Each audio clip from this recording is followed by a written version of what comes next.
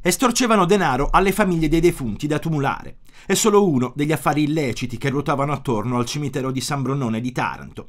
A scoprire tutto gli agenti della squadra mobile del capoluogo ionico nell'ambito dell'inchiesta ribattezzata Golden System, coordinata dalla Procura Tarantina.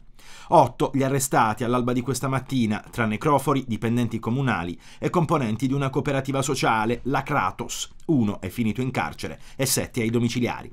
14 invece le persone coinvolte nell'indagine, tra le quali il comandante della polizia locale di Taranto, Michele Matichecchia, il direttore generale del comune, Carmine Pisano, e il dirigente Barbara Galeone.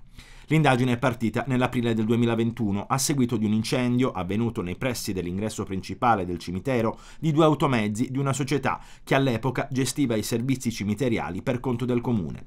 Dall'attività investigativa sarebbe emerso che gli indagati si sarebbero accordati per permettere alla cooperativa sociale di aggiudicarsi illecitamente la gestione dei servizi cimiteriali per alcuni anni con un importo della gara di appalto di circa 7 milioni di euro.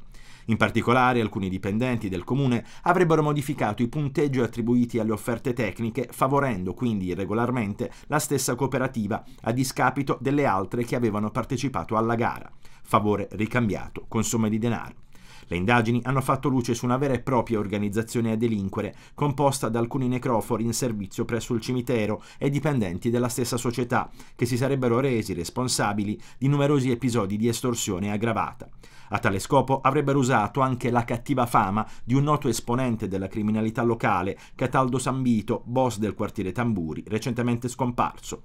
Così il gruppo dei necrofori sarebbe riuscito ad ottenere dai familiari delle persone decedute, direttamente o attraverso l'intermediazione di agenzie funebri o dipendenti cimiteriali, somme che variavano dai 100 ai 250 euro per ogni singola procedura di tumulazione o estumulazione.